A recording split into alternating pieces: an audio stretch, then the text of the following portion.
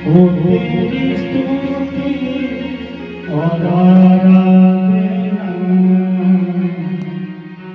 करता हूँ मैं तुझसे ये प्रार्थना ओ तेरी स्तुति और आराधना करता हूँ